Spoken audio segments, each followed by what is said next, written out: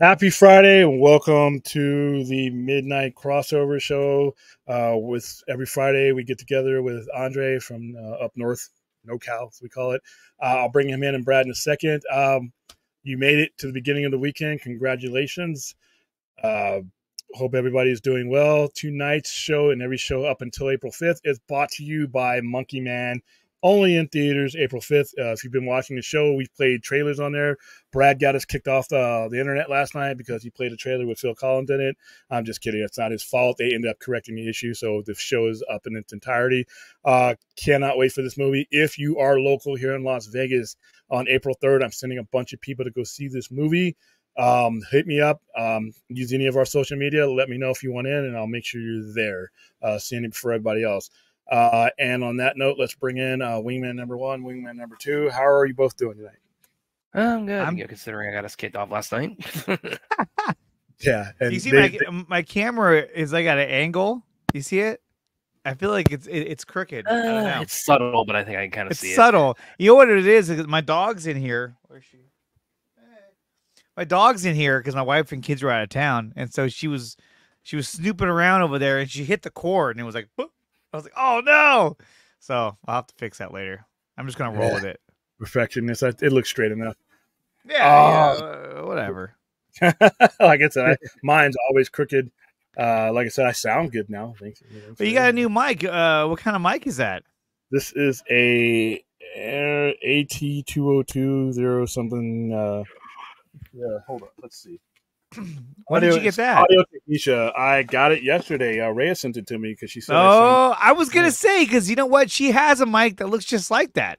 Yeah, she says this is the one her and Max used. She was uh, making fun of me, saying uh, I sound scratchy and all jarbled. And I'm like, oh, I, I, and I and I when I listened to the show, I didn't hear anything until she said that, and I'm like, oh, okay, yeah. And then you always uh, sound a, sudden, a, little muffled. It was like, you know, it just sounded yeah. like and that was she a big said, mic that you had before too. Yeah, it's a she brand. Also, it's a brand new, very expensive mic. and I guess it just wasn't the right, but it didn't have controls and things on it. You couldn't do sound control. Yeah, you know, so. the ones that don't have controls, those ones like it really needs like a, a, separate sound mixer to make it sound good. Um, it's what came with US- earphones too, so it's like. Oh, that's cool. Yeah, so the earphones are actually hooked into the actual microphone. Oh yeah, that, that, that's how the, the Shure mic is.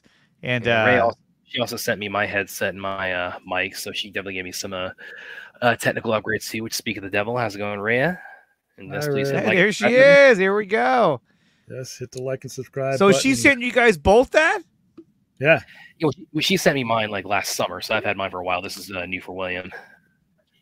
Yeah, I, mean, oh, I had to. Very good, very regular, nice. Just the regular old this microphone right here that I like I said it's it was super expensive. I mean, it's not hooked up now, but it's like super expensive and it's you know i thought i sounded good but then again like i said it's not what you know it's what my what i think of my sound is not really uh, as important as what you know it's it's, it's an audience driven show so um, so yeah i mean before i even uh, responded to uh, I, I, do sound she had already had a microphone on the way so. you sound much better i'll tell you that yeah and i and i was testing it last night with brad to see how i sounded uh you know because it's like yeah. it's, it's, literally it's literally a high tech you know but it's nice and then uh, it works. And like I said, I'm not used to wearing earphones uh, when I'm on here, but the the thing can actually you can adjust it to where you can hear your voice, so you know. yeah, that's how this one is, it, or or like the uh, the Blue Yeti, or yeah, the, the, Blue Yeti that I used before had the audio plug in, and you can hear yourself. It makes a huge difference because when you can hear yourself, I don't know what it is. I I I I, I can't like if I use my my uh my AirPods and I can't hear myself, I it just it's a weird feeling. I just don't like it.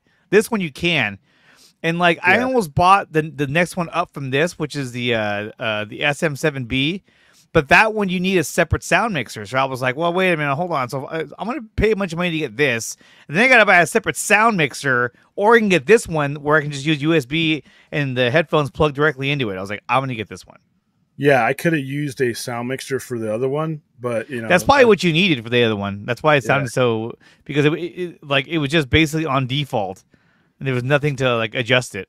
So now I have two of these. I have one at the store, and I have one here that I, am not going to that I don't use because the Amazon Basics one I bought that we we stream from the store. Uh-huh. That one is crystal clear. That one's the best mic I have, other than the cat ears.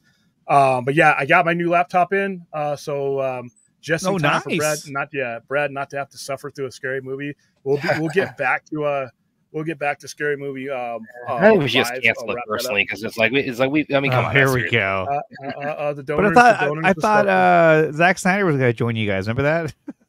yeah, no, that was a joke. That would have been. Oh, I know. I'm just saying. It was funny. Yeah, that that would would've been been absolutely awesome, yeah. hilarious if he'd have done that. if but, he'd have uh, done we- that, Brad's like, I have to watch this Yeah, stupid no, movie. You With have to watch it and not be pouty about it. But so tomorrow, I, I I think tomorrow, I, I think we're gonna do it at um two normal time, two o'clock. We're going to be doing Hmm. um the arrival uh per one of our donors, Larry Kokorowitz. We're gonna do the arrival because we wanted to do a Denis uh Villeneuve movie, and then uh, later on, I think around five, we're going to uh, do Roadhouse. We're gonna do a group watch for it.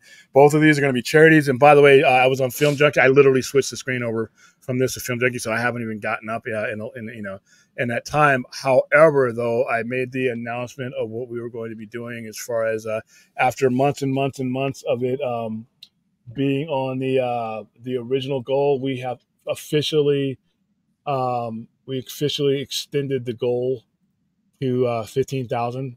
Uh, we currently uh, sit right now at ten thousand two hundred, but there you go. So um, the little the little ball right there was the original ball, original goal. So now the uh, it doesn't even give you another one. So it's like right now we're we're gonna we're gonna go for uh, fifteen thousand. yeah, Nice. just, we have just under a month to uh, to pull in forty eight hundred dollars. I love I love that that, that thumbnail is just so perfect for you know hitting that ten grand uh, threshold. Yeah. we did, uh, and and the fact, that, of course, the fact that we did it, you know, on the three year anniversary on the day of the second Rebel. Oh yeah, trailer. yeah, we did, we so- sure did, we sure did. Uh, and and also it was the day, of course, you guys tagged Meet the Spartans on me. So, Meet Hey, the hey, got us. Spartans, man. That's a you got to watch that in IMAX. It got us, it Oh, got us to gosh. ten grand. Yeah, it got us ten you grand. 10 So like grand. said, uh, you, you can now attach something positive to that dreadful movie. So there you go. Uh, so yeah, tomorrow's an arrival, and then uh, later on it'll be um, it'll Yeah, be yeah, uh, Roadhouse. Roadhouse, which I saw that. Uh, I pretty much because I pretty much was all night with that. Um, on uh, uh Thursday, we you know finished the stream. I just pulled up because I was really looking forward to it. I pulled up my Roadhouse on Amazon Prime. I freaking loved it. I, I thought it. Uh, I'm a big fan of the original, and this is really cool because it, you know because it you know it takes a lot of the core elements of the original, but it really is also a very different movie. It has a very different Right. portrayal of uh, of Dalton with uh, Jake Gyllenhaal. You know he's uh he's coming kind of from a different place. He's got some you know different demons he's dealing with, but you know, it's it's a, you know, it's a very, I think it's a very worthy follow up to the original, and the fight scenes are incredible in it. So that's what I, I've heard. I, I heard the fight scenes were really good, and I was Yeah, like, yeah. really? All right, is, are they Um, like the raid? Are they like the raid, Brad? Get Yeah, of the way. no, I just I- want to get out the way. Y- yeah, it's some. Uh, I, I, I, yes, they are definitely. I, I feel uh, the fight scenes are. Uh, yes, I feel they rise to that level of intensity. And uh, you know, funny I'm thing too- to hear this. thing too, also, uh, well, yeah, because and God forbid we actually do a watch party of the raid too at some point for charity. Uh, That's that, that's not the kind of misery that gets us donations. Yeah, exactly, uh, exactly. and, and- and, you uh, got to go the hard road. yeah. Yeah, but but, but yeah, but it, it- it's easier to go the the. the but I, I'm telling you, we guys. I, I said this to William last night when uh, when we do the the Roadhouse watch party. You guys, somebody I forget it was commented last night as we were wrapping up that um you know it's like Mad Brad versus Sad Brad or or, or Rad Brad or something like that. And I'm going to show you guys tomorrow during Roadhouse. You're going to see Rad Brad.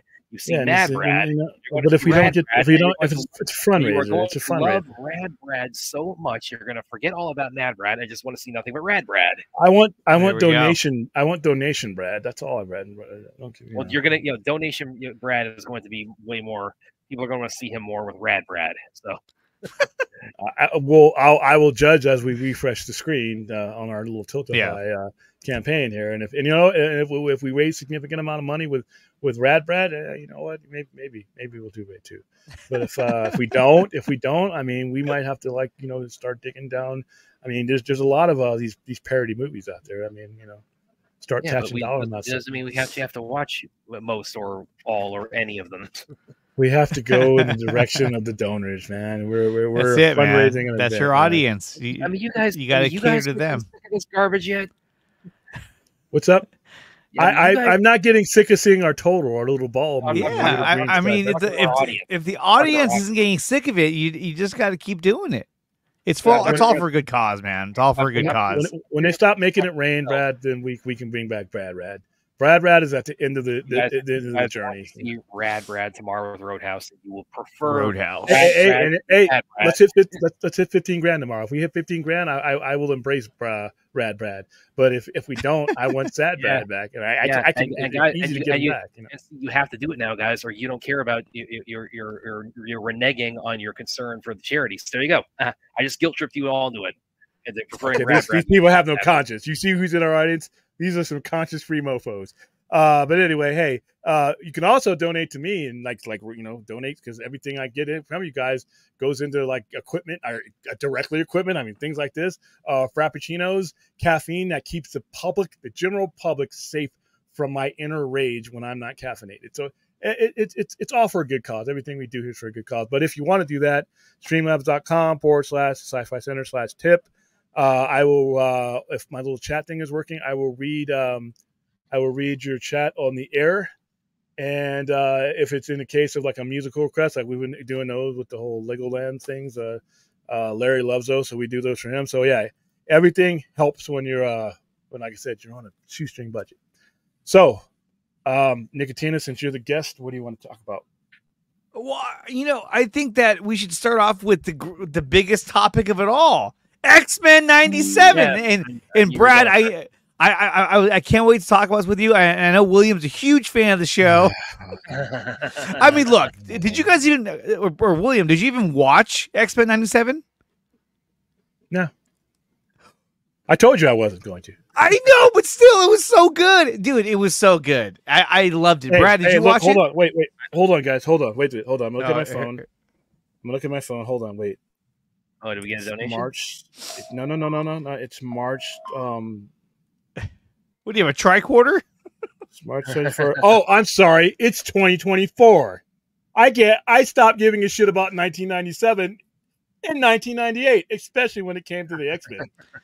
dude this uh, uh, look you can feel the way you want to feel about it and that's fine okay but what i'm saying is that like this show is so it was so good and uh the animation worked really really well um I, I would argue that X Men '97 so far it's only been two episodes, but I would argue that X Men '97 is, you know, aside from Loki and like maybe Moon Knight, this is probably one of the best Disney Plus shows for the MCU. It's not even the MCU. It's not even uh, six one six. It's not. It's not even really MCU, but still, it, that's how good it was. I, I really, really enjoyed it. In Yeah, all it- fairness, it- I did bring I did bring somebody on who I brought RJ on who had watched it. Uh, I he- fished he him out of the chat. He watched it. I- I've very seen- positive. I I- will I've see it though. Just It, it seems yeah, the, the, it seems pretty pretty across the board. It seems like getting like, pretty like close to universally uh, pretty uh, pretty well praised. Yeah. well, Well, sad sad testament of uh the, the society. But yeah, sure. well, but the thing too is that like it stayed true to what the original show was. That and didn't stay true. That the, the original show that didn't stay true to the, the source material. But go ahead. But well, I I mean, it, it, like they did to a certain extent, but but yes, obviously they changed a lot of things in the cartoon because it was a cartoon back then. But this one, I'm telling you, this one actually does justice to the comics in in the story and and the plot twists that it adds. Like I, when when at the end of episode two, when it ended, I literally was like, "Holy shit! Are you kidding me?" They did something that was so fucking cool that I thought they were gonna do what most t- what most shows do, which is kind of like you know some details don't make any sense, so they just kind of they just kind of write it you know make sense of it. They literally did something that was like I did not expect them to do, which was so cool. All right, well, it only took him 27 years to. Uh, Well, but look, to- I'm to telling you, a little bit more. it, it was good. It was soft good. I I really enjoyed it. Yeah, all right. I thought it was a lot of fun.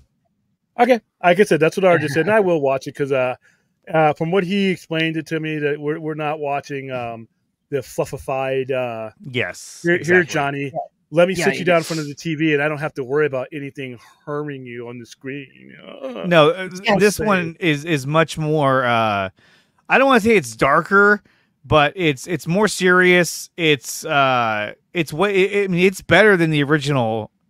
Uh, Yeah. animated series, obviously. But I I, mean, I mean, the original one was on Fox Kids on Saturday mornings. You know what I mean? So it, it can only go so far. Uh, Well, this and- one's going to be a lot better.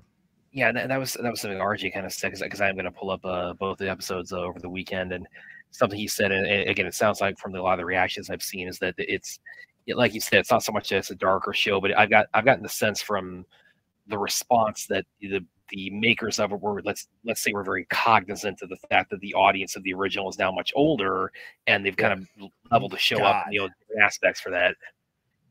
Well like right here uh niner for life uh he's a he, he's on my uh, stream I, right now. He, yeah, he has your, a great comment one of, your, one of your niner cronies in our chat. No, hell yeah. Bang bang uh, he says, "I'll be honest. I thought it was going to be dumb, uh, just really bad continuation, but I enjoyed the shit out of it. and made me feel like I was a teenager again back in 1992 when the original premiered. And and that's what I'm saying. Like, so the intro, the fact that they basically remade the intro with with newer and better animation, that was really cool in itself. I was like, wow, they did that. Holy fuck! And then not only that, but like." We got to see like X Men, like real fucking X Men. You know what I mean? I was just like, yes, I want more X Men in the MCU, and I've waited so long to see it. We saw Fox do it, and it was always just like good, but it, was, it could have been better. For the most part, it for for the time that those were released in, the, the first X Men film is why you have all of this shit that we yeah. well, I would say X Men and uh, Spider Man. Those are the two. I, that, I would well, well, I would say X Men more so than Spider Man because of the ensemble-ness of the, yeah. Of the, the, group, yeah. you know, the mega production value of it. So, um, I was a teenager too when this when this uh when this show came out. Granted, I was an adult. I was a grown ass man. I wasn't even a teenager. I was uh I was in what was I in like 1992. I was uh I was 10 years old. And I remember yeah, I, was, I was I was like five, I was like five years old at the time. I was 18, yeah. so you know. Yeah, he was 18. 18 with a decade of collecting the real shit. The real but stuff. I, I, like I said, you know. Like like this one, like the new series so far, it's only been two episodes, but so far I would say it, it does the comics justice. And uh, they they did things that the other cartoon wouldn't have done. Uh, so it was pretty cool. All right, Jeffrey. I, I saw that you said you worked on it. Now, I get. Yeah. Hold on, hold on. Go, go back to that. Go back to that. Yeah. Um, it stayed true to what the X Men are about. I guess this is where I have a, and this is I respect your opinion. The first time in the chat, I don't know which side you're coming from. But welcome. This is where I where where the philosophical split is for me on all of this stuff. To me, when you say what the X Men are about, I go to a different place than this cartoon ever did. So when you say what the X Men are really about, I'm thinking Chris Claremont. I'm thinking Jim Lee. I'm thinking Whilce Portacio. I'm thinking John Byrne. I'm thinking the stuff that was literally in my hands as this stuff was being released. I'm thinking Fatal Attractions, which was released right after this was released. The things yeah. that happened in Fatal Attraction were not going to happen in the cartoon. So I guess that's where there's going to be a philosophical split between me and others, is because when you say that, what I guess it's who it, who you are talking to. So if it's based on a comic book, and you fluffify that comic book, then I then what is what is it really about for me? That's that's where where teenage me was asking. It's like you know, can you sanitize something that was never meant for children without taking away what it really is? That's just by the way, uh, question uh, you know. Uh, Jeffrey, real quick, uh, uh, are you on IMDb by any chance? Because I, I, thought I'd go ahead and look you up on there from a um, you know, working on the original X Men, see what else you've uh, done. So yeah, if you're on IMDb, let me know because I'm trying to find you there. Well, and then you know, Axel's like, you know, he's like, I'm not a huge fan of the theme song. I love the theme song. I, original I, I want, I want to, I want, I want to punch. I, that theme song makes me want to punch holes into people and or walls. Dude, I love that song. And not only that, you know, uh, I, I saw Axel saying how he thought the theme song to the live action X Men, X Men Part One, was better, but the live action X Men theme for the first movie, especially, it was it was based on the animated series theme. It, it's very similar. Um, and so it's like, not, and, not, nearly as annoying though. That that no, I, I, I, love that one. Dude. When I, I saw love Multiverse song. of Madness when they when they played that when he, I'm like, are you fucking kidding me? But I'm like, okay, fine. Um, well, they, and they played it uh, during Miss Marvel at the very end when they said she's a mutant. It was like, nah, nah, nah, I was like, yeah, yeah. yeah. I was like, I just want to see X Men. Come on, you know, and what? fuck. Please, Kevin Feige, if you're watching this, I know you came up with these X Men movies. I know, but I know you've always done a good job of recognizing what the past is and what the future is. You're the best at it. it Please Yeah, don't but I mean- mimic this madness. But also, Feige, do not mimic this just, madness. just bear in mind that William did approve all these scary movie streams, so it's like just I mean, Yeah, Well, that was fair. charity. That's a charity. That's your cause. you, you pro- hey, you got deep pockets. Help us. Help us avoid all this misery. But please, please, I am imploring you. I am begging you. Do not use anything from this cartoon, either version, if if, if it's, it's not consistent with the the MCU that you've built since 08. And I don't see how you can do that. I think you are going to have to build an X Men that fits within this. And you know, as great as this nostalgia is, nostalgia is like a bomb. You know, you can do it right. If you pull the right wires, you everybody everybody uh, walks out alive. If you pull the wrong one, everybody dies. I thought they did, and uh, not only that, but the dialogue in uh, the episodes I thought was really good. Um, there wasn't really a lot of scenes where I was like, "What the fuck?" or like, "That doesn't make any sense." I thought it, it all flowed really well. Like, I saw a TikTok video where this guy was making fun of like uh, one of the episodes and saying how it was hella woke and all this stuff. I didn't Oh, get that that. that, that part I will defend. Yeah. I will defend the cartoon on that one because, like I said, X Men has been woke since September of 1963. If you don't realize that, you are literally every villain that the X Men was designed to fight. Well, you are literally but- that but guy. You're the Henry way the guy was slandering it, I was just like, this is so stupid. But no, uh, I thought it was really cool, and and then you know the character morph they brought back, and uh, I know that was a big deal for some about how he was kind of like a non-binary form, but it was fine because he's a shapeshifter. So like he Yeah. really, so is like, Mystique. Mystique was banging people as guys, and Yeah. People as a man. So, uh, well, you know, so it, it you know it's. And it's funny too because like you know Zack Snyder had said this a while back and, and and it was true because I remember thinking about this back in the day but it was like you know um it's like Marvel. I always felt like Marvel was always like it was always darker than DC. Uh, you know, especially with the X Men, they always had a much darker tone. They were dealing with with more controversial topics, topics that you know that were influenced from you know racism and all that, uh, inequalities. they were created to do so. They were created Eh, to do but so. that's what I'm saying. The fact that that they uh, that they they tackled those those um, those topics was it was, always so fascinating to me, and uh, and as it turns out, you know, the MCU was always like you know brighter, more hopeful, you know, nicer, and then the DC ended up becoming or DCEU ended up becoming super dark, you know, which you know I thought was really Well- cool too, but still, here's here's the thing though. Had had Marvel not been in bankruptcy, you would have started out dark. You would Yeah. have started out dark because they would have had those characters at their disposal. But um, so uh, and then I'll see a Droga super chat there that you know, didn't come from our side. But hey, that's fine. By the way, Uh, uh, just, uh, yeah, I, I just yeah, I just found you on uh yeah, here, I've just found uh, Jeff's uh, IMDb. So yeah, let me scroll down to his uh, Oh wow! uh we're doing where a- the- we're yeah, doing there he is right there, animation lip sync on uh X Men Animated Series. Yeah, yeah, it's like we, we were. I'm, I'm Oh, by the way, We- um, we- Jeff, not knocking your work, not knocking you personally in your work. It's just I have a philosophical problem with these animated shows in the '90s and their influences. Uh, fun, fun. I hope this is not true. I hope you're just fucking with me. Uh, the success this series is going to have will influence uh, what they do in the next. They shouldn't. It should not. A, it's in an era that is not going to be, as far as I know. And two, th- no, no, no. All right. That is my problem. Fun, fun. I love you, but you just illustrated why. And the same thing with Batman. All right. Listen, no. The '90s was a, a- special animal where you could get, do this stuff, but you cannot show grown people. You cannot homogenize these things. You know, uh, and and the and the MCU, especially I after what Scarlet Witch did and looked like the last time you saw her, you ain't giving me no cartoon X Men after that.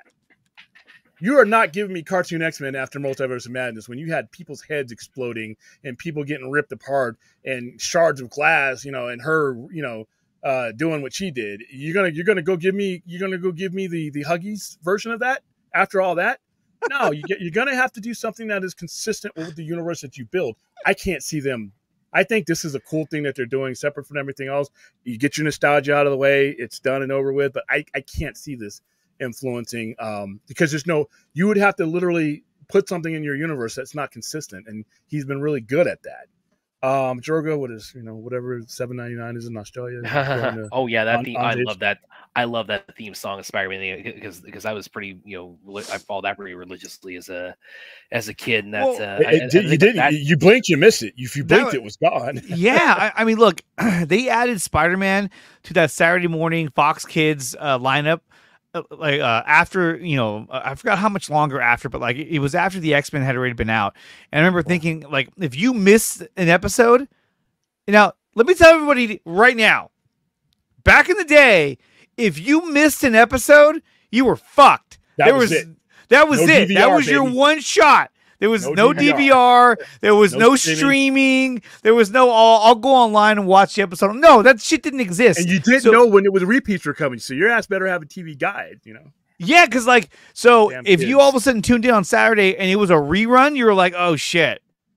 You're like, I've already seen hopefully this. that's the one you missed. But uh Yeah. mid two thousands Marvel comics were pretty dark. Listen, you know what else is dark? All of X Men. All of X-Men is dark. They were, of act- they were actually dark. they were actually Marvel's actually comics wise was actually darker uh, than the DC was. Yeah. Actually, no. I thought it was. Here's a it is a that is a wide perception. The most popular and most selling comics of Marvel were all the X titles were, and whatever Frank Miller was on was. Yeah. and usually that was. Daredevil. Everything else, they they were always terrified. Fantastic Four, for the most part, you know, it had issues, but you know, Iron Man would have a drinking issue, anything like that. But for, for as far as that level, they didn't give anybody else license to be that way, but Chris Claremont. Uh, until like the mid to late '90s, when they let everybody do it because they were getting desperate and they needed better selling books. But like I said, it, with DC, it was part of what they did with Marvel, it was what it was allowed to by a handful of writers, which is weird because when you think of that, you, you think that oh, you know, Marvel is much darker. No, it was it was if you, it, it was the, the the top selling comics were, but the rest of it was you know, you know, and and Spider Man had some issues. eh, you know, you know when the Hobgoblin came around, it was different type of. I mean, for the most part, it was basic storytelling, which was fine. It didn't all have to be dark, but Chris Claremont, Neil Gaiman, Frank Miller, people like that showed you showed you it could you could take your audience to that Mhm. spot and not lose them. You know, so um, so yeah, all, all of Mar- Marvel uh, uh, X Men, at least X Men, X Men was dark from pretty much the beginning because if you interpreted it for for what um, Stan Lee and Jack Kirby meant it to be, it was a civil rights struggle from the get go. hmm And if you were watching, if yeah, if you were reading the comics and you were watching your TV, especially post 1964, 1965, you were seeing what Stan Lee couldn't display in the comics was being played out on your TV, and most people were, were able to make the parallel, make the connection. All right. Um. So yeah, that car. I, I will eventually watch the cartoon. From what from what I hear, there's been an adjustment made that won't won't make me as nauseous as the original concept of the cartoon. Like I said, the concept of these cartoons in the '90s was just like as a as a young man, as a as a just starting comic who held these properties near and dear to them. It just was sacrilege. I mean, seeing Apocalypse softened up like that was like, I mean, I can I can I can taste the vomit in my mouth now when I first saw him on that on that show. Well, but, but that's the difference. That was that that was made for kids. It was on Fox Kids. I Exactly. mean, they they had to cater to that.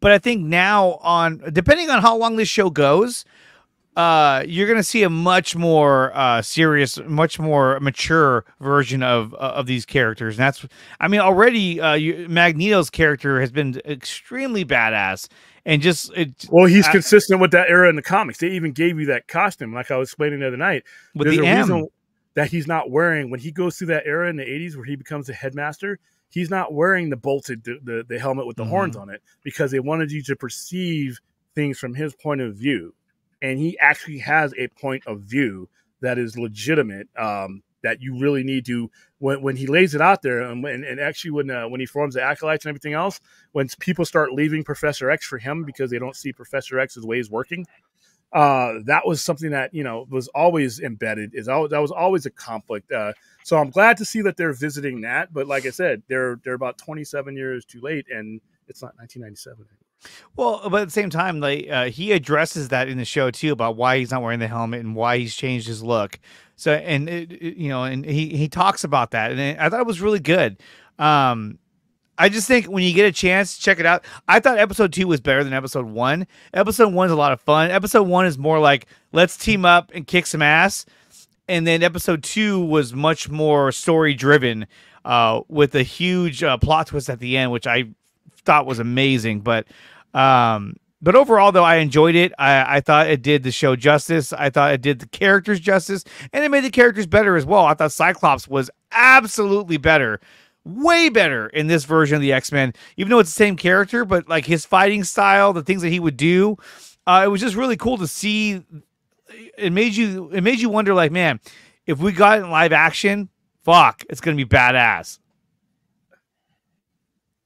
Anyway, um, Jeffrey Peterson, it was groundbreaking at the time, and it did not seem like it was for kids. It was punk rock. The average cartoon fan didn't know who the X Men were. Okay, I got a slight problem with that, respectfully. Um, I don't know if ground. I, I, it all depends on where, where you're, you're coming from. Yeah, I It- think it instantly. It instantly. I knew as an 18 year old, I knew this was for kids. I had grown up watching kids. Oh, cartoons. absolutely, absolutely. that um, the average cartoon fan didn't know who the X Men were, that's fine. But here's the thing, and I always say this not everything needs to be made for kids. Make stuff for kids, create stuff for kids. But if you have to change, and I that was I to me, that X Men was not recognizable to the X Men I was literally collecting at the time and been collecting for 10 years.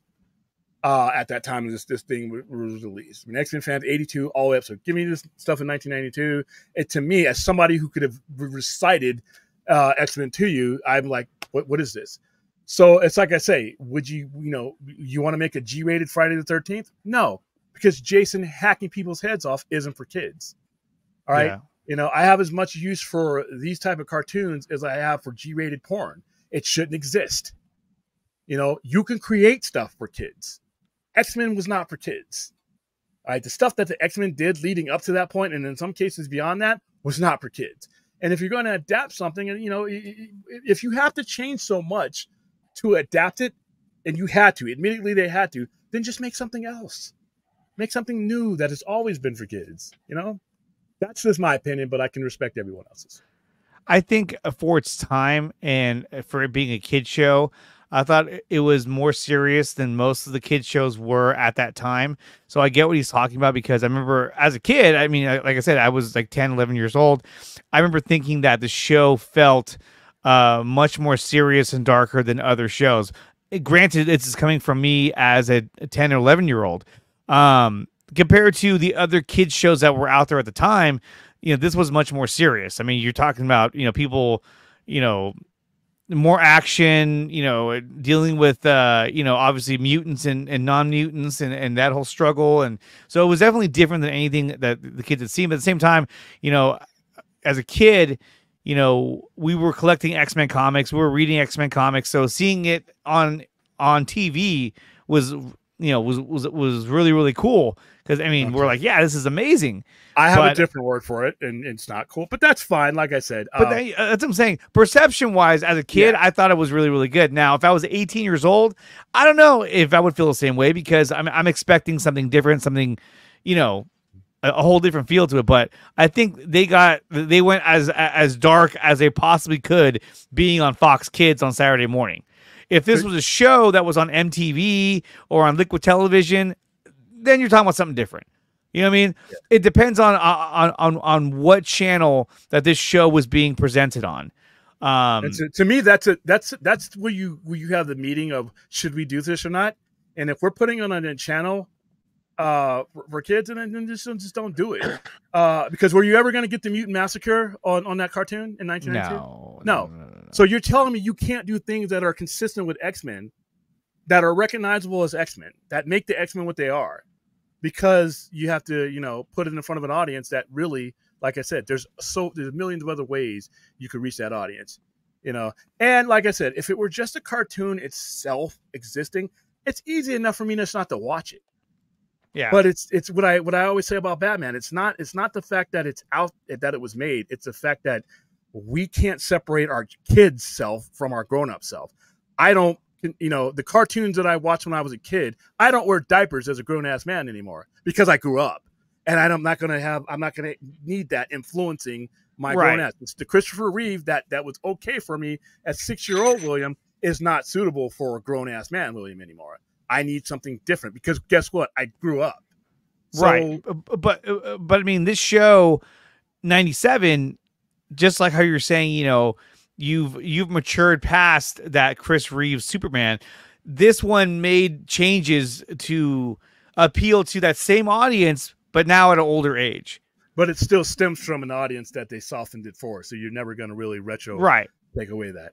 But I mean, like, great, but, but like I know. said, if let's say this show never came out on Fox Kids, and let's say it came out on like MTV on or you know Liquid Television, you know during that show, you would have a much darker state. I mean, I mean, look, look at you would uh, have X Men. You would have the X Men. Yeah. it would have been recognized. Look at animated movies like uh, Heavy Metal. You know what I mean? Like that. Like you weren't going to get that on Fox Kids, obviously. Okay, Um, but but okay, and if you're doing heavy metal anywhere, if you're doing heavy metal anywhere, and you have to neuter it in any way, guess what? Don't sucks. do it. Yeah, it's gonna suck. That's your answer. That's the yeah answer. to uh, the uh, well uh, and, and then of course you got you got rebel moon who you know is heavily influenced from uh heavy metal and then you talk about if you if you were to neuter it it wouldn't be the same so now i'm you know, obviously that begs the question how different is zach's rated r version that's an hour longer compared to what we saw in pg-13 i i, I- I think it's going to be an entirely different movie He says like a the different thing world. about that is though is that I know that coming in, and that this movie is not going to have an undue influence Yeah. on the entire genre. Um, I would like say said, this, William. I would say watch the first two episodes and just see what you think. I thought it was cool. I thought it was a lot of fun. Uh, I really enjoyed it, and uh, I thought they did a really good job with it. And then what's what's crazy though is that you know I'm I'm sitting here talking about how much I like the show, but the the guy who created the show got fired. so I'm like, great. One of the shows I, I love that they did in Marvel, they fired the direct, uh, the creator. I was like, oh shit, it's crazy. All right. Okay. not this, and we'll move on after this. Attack. Yeah. Uh, but but if uh, but it got kids probably never picked up a comic book or watched any of these characters, Batman, X Men, Spider Man, regardless. These guys, no, it didn't.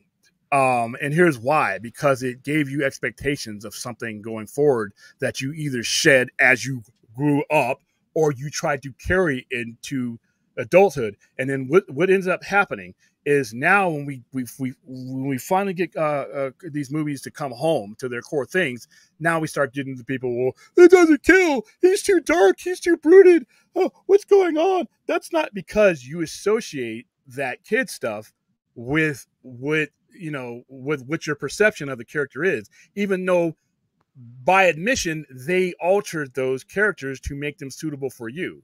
So the the the one the influence should be what they are. Batman is what he is. Batman does what he does. Wolverine is what he is. He disembowels people on a page by page basis. He kills every time he puts those those claws out. Uh, Storm guts people with her knife that she carries after her power. The mutant Scout Hunter shoots mutants at point blank and their heads are disintegrating on the page. That is what the X Men are. Not by me. I didn't. I didn't. I didn't do it. Chris Claremont said it. John Byrne Mhm. said it. Jim Lee said it. So I'm going by if you're going to call it X Men, then it's the X Men.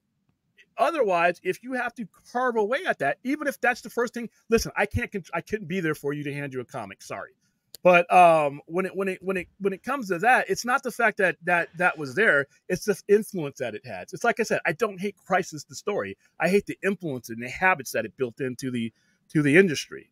So if you pick this up for the very first time, and as you grew up and you shedded the diapers and you put on the big boy pants and you got the job and you you know got the hair on your chest and everything else, and you you you left the kid shit behind and that influence behind, all more power to you. But if you brought that anvil into modern filmmaking and when these characters become their core characters, when Batman beats the shit out of people, which Batman has done for decades, when Mhm. Wolverine Wolverine rips out your intestines with one hand and causes you to be bionically repaired.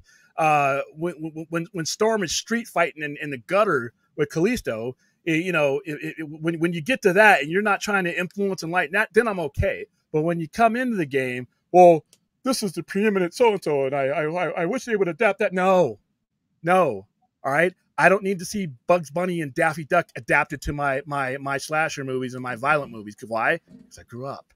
Yeah, but that's like me saying, you know, oh, uh, you know, I've seen Spidey and Friends, you know, the kid show that's out right now.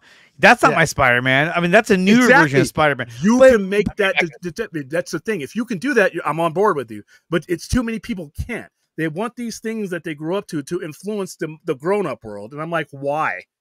Why? It, it literally says for kids.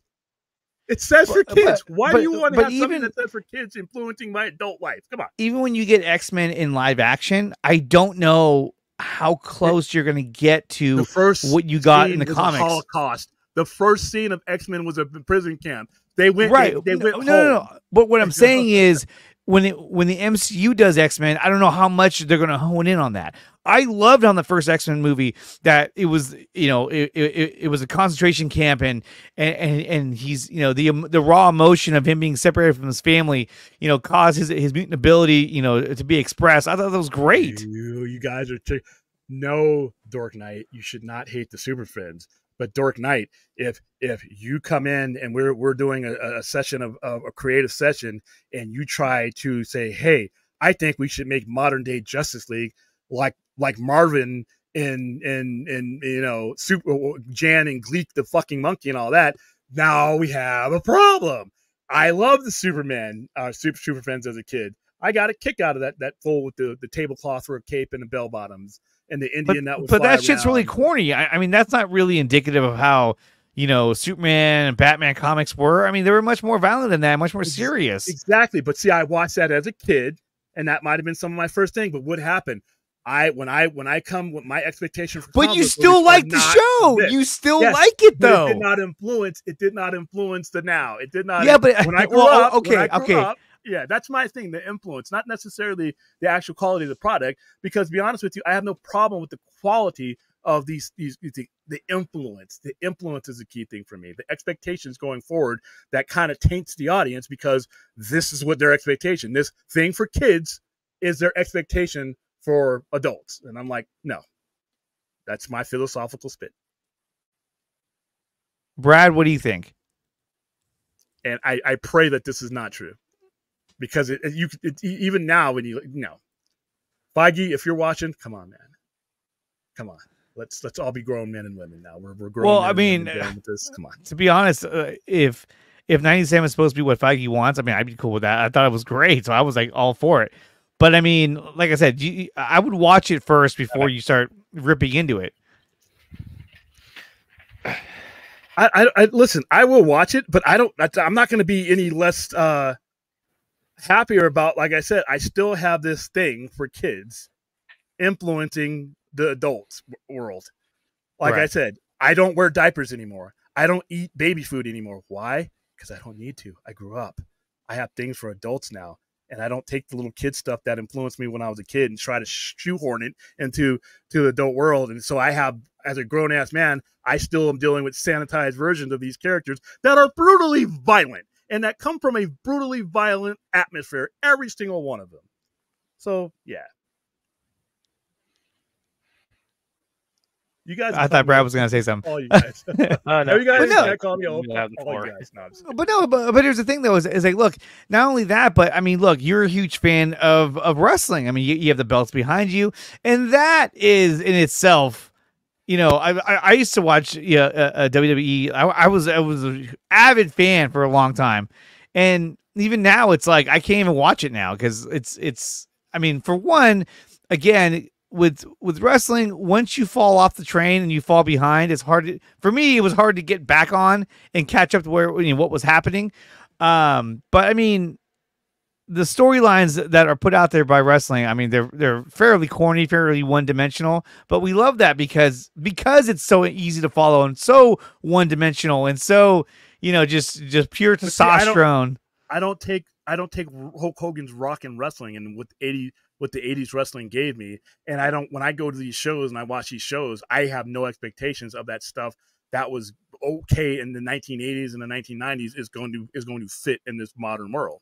We've changed as a society, so it's just no. But like I said, now if I came in and and and, and told uh, uh, Tony Khan and you know Triple H, hey. I, I don't I can't deal I can't deal with this modern day you know wrestling that you're doing you know, I, why don't you make things more like things were back in me in 1988? And if I'm Tony Khan and Triple H, I'm like, because you grew up, we grew up. Why don't you go back to uh, wearing a snuggie or what are they, what are they, you know, uh, you know, uh, uh, uh, you know, sleeping in a crib? Why? Because we, we, we're beyond that now. We're in a different place now, influenced by big boy, big girl things. You know? I mean, look, like I haven't watched it in quite a while. Mainly, my wife got me out of it because she couldn't stand it, so I had to like you know watch it, you know, behind the scenes because she was like, I can't watch this shit. Divorce, um, divorce. No, I'm just kidding. I know, and uh, but no, I, I mean, like uh, even Night for Life said, I I grew out of wrestling in the late '90s. Uh, you know, but when I was watching it, you know, Triple H was probably one of the best performers that were out there. The Rock was really good. Kurt Angle was amazing. Uh, Stone Cold Steve Austin, obviously, and there's a lot, a lot, a lot of wrestlers that I'm a huge fan of, and uh, you know, but still, it's like you know, as corny as as that is, or or how stupid they can be, I still love it. You know what I mean? I I, I was I I was totally entrenched in it. Um, and look, I'm not saying that. So okay, okay. Here's my thing: is that you said no, don't hate Super Friends, just don't let it influence how you perceive the characters, right? Oh, no, how the characters are the, the creative the, uh, uh, direction of the characters because that's what's happened. A lot of this, a lot of these perceptions lead to influencing on some of these later things, and the perceptions of that the characters don't do this, they don't do that. I'm like, no, these characters have always done that. Your perception comes from a place that wasn't consistent with the source material. You know, but it seems so, like like when you go back to uh, Justice League of 2017, it feels like they were trying to bring that feel back to it, that that Super Friends kind of feel, that that kind of you know corny kind of. I'm talking about the the, the oh, theatrical, the and that's why it failed, and that's why it, it failed. And yeah. so that is a clear indication of what uh, uh, of what William is talking about. That you shouldn't take, you know the version of the characters that you grew up with and say, you know, it has to be this way and only this way. You know, it shouldn't, you know, it, it shouldn't predict how the characters need to and should only act. You know, you know what I'm saying? So here's so, what happens. Here's what happens because now when these characters have behaved a certain way, you know and then when it comes time to make the characters closer to what those characters are consistently about we have a split audience now that says this character doesn't do this this character doesn't do that. Uh, i wish they would do it my, my, more like the cartoons. I've heard that so many times and like i said i want to jam q-tips in both of my eardrums when i hear that because now you're having these things that are not just out there they're out there and they're carrying weight they're carrying weight, and that's why you have a lot of these comic book audiences, especially with DC. That's why you have a lot of this stuff split because you have a, a generation that came up with something that wasn't what it was, and then a gener- another generation that has has no, like I said, uh, you, the Joker in that cartoon is never going to do uh, anything uh, like what the Joker was was Joker's a mass murderer. He's a killer. You think you're going to see uh, in that in that era, in that era, were you ever going to see something like the Killing Joke in any any cartoon? Were you ever going to see a Death in a Family in any of those cartoons? No. But no. that was Batman. That was Batman. So you're basically telling me you're not going to see what Batman is in something that's called Batman. You weren't going to see. You, you, were you going to see uh, uh, Wolverine rip Donald Pierce to shreds you know, uh, and have him bleeding and holding himself together with, with his hands as he escapes. Were you going to have that? No, that's no. what they were. Were you going to have? But that's a, but, but even with the MCU, when they do it, you're never going to get that. I don't think you're ever going to get that violent uh you when you you uh, you, you wouldn't like i said i wouldn't expect it to, to see uh scarlet witch walking around with blood all over her face uh, making people explode either. We saw that. So i think you are you got a better chance of that kind of consistency because it's what the mcu is. All i'm saying is build something within the mcu that you've created. You don't need no more kid stuff.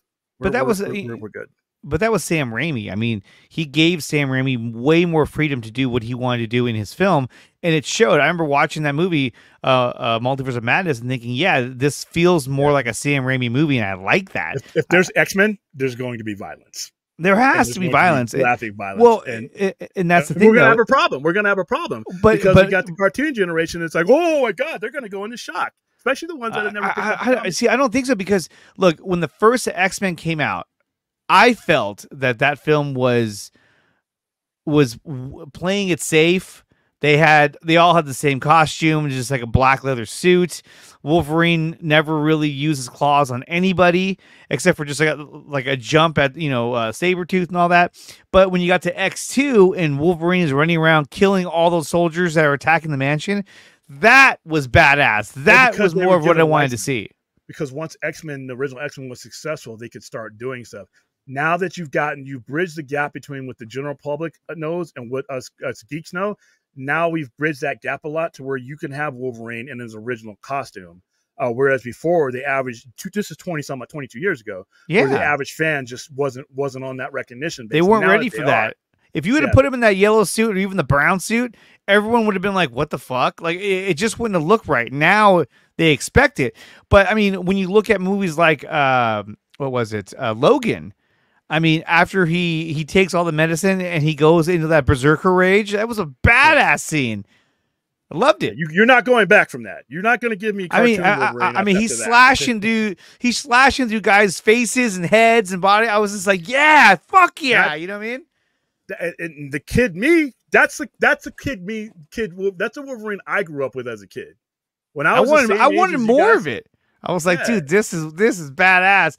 I mean, even in the Wolverine, you know, uh, he had to fight all those ninjas and all that, and, and and that whole scene too was really, really. I thought that was well done. I thought that was really cool. I actually liked that movie, uh, the Wolverine, except for towards the end when they drained his adamantium, which was like oh yeah that was yeah. it was unnecessary because then in the next film he had it back again, which I guess you can only assume that Magneto did that, but they never really showed it. So it was kind of like, why did wh- what what? yeah, they tried to capture the essence of one of the one of the more, more famous the Fatal Attraction storyline, but even then he's he's only without his uh, adamantium for it's temporary. He ends Yeah. up getting it back. He gets Uh, it back. Oh, I mean, even in the comics, when that happened, I remember like uh, me and my friends were we'd always talk about like it's only a matter of time before he gets it back. There's Yeah. no way because that started the whole Logan series where he was by himself and he had his wood cl- his wood claws and, and they Yeah, would break bone- every so bone. often. Yeah, oh b- bone. I don't know why I said wood. Bone claws and then like he get into fights and then like one would break off. You know, you're just like, oh my god. But we all knew like it's only a matter of time. Like there's no way you you can bury a character like Wolverine. I get them now. I get them now, and this is this is where uh, you know I make my case of them. I don't try to deter. If you- if, if you want the X Men, it's right there. But here's the thing, though: it's sitting right next to the legit X Men. You know, it's sitting next to the the actual stuff. Here's a trade paperback. If you know, all I ask is that okay, if you if you love that stuff, great. But when you come in, you know, we put the weight of of of, of that that perception to change what the characters are going forward. That's where I got an issue with it you know so um yeah i, I we, the x-men stuff when it comes to people coming in buying comics we do have a lot of people more people because of that but we the core audience of x-men goes is, is you know is going to always go back to the core stuff. It's just that the the comic book collectors not necessarily you know you know not what they're looking for. But once again here's the thing though uh you don't necessarily need to look to us but look look to grown-ups you know look, look, look Yeah. to you know look to but adults. but I think what it, what it did establish X Men '97 was that you had a wide audience that that you know was very that liked it. It had a positive reception, and on top of that, you had a lot of people that didn't need to have an origin story for all these characters. They just they just already knew who the characters were, and so to me, that's a test to see But like, did you- hey, Did you? Did you What, know who you- Wolverine was? Did you from watching the cartoon? Did you really know who Wolverine was? but that's not. I mean, w- watching the cartoon is not my only resource of Wolverine. You know what I mean? Like, you're you're you're not you're you're not the uh, the error of my rat though. I mean, the, the because did you really did you- these people who watched this and most likely never picked up a comic?